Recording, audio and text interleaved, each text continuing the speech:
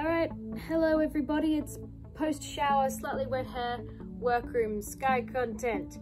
Um, this is just a quick video to give you guys an update. Sorry I've been on a bit of a hiatus. Um, I've had con crunch and then a con and then Bolt's got COVID. I am somehow miraculously untouched by the coronavirus. So far, asterisk, so far, touch wood, still good so far.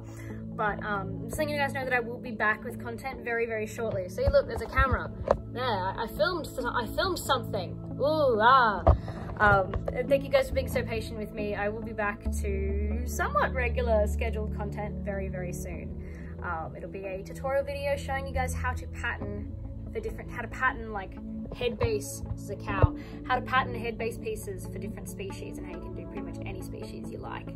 Um, so you don't need a separate tutorial for each. Um, but yeah, other than that, thank you for sticking around. Um, back to your usual scheduled programming very soon. And if you have a video you're dying to see, I need content ideas, so put them in the comments. Please, I need content ideas, please.